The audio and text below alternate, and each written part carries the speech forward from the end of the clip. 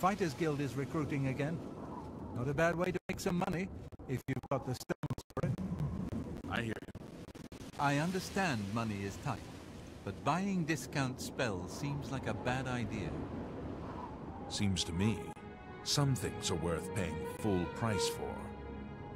Goodbye. Take care. Do you need something? The Tiber Septim Hotel is a nice place. It's not cheap, though. I can't imagine that there's a